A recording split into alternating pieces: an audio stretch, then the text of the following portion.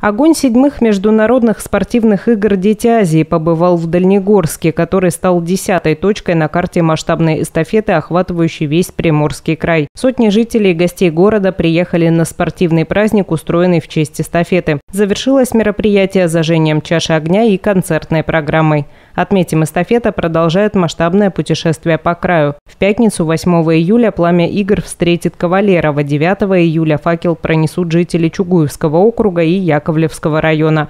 А 10 июля огонь побывает в Арсеньеве и Анучинском округе.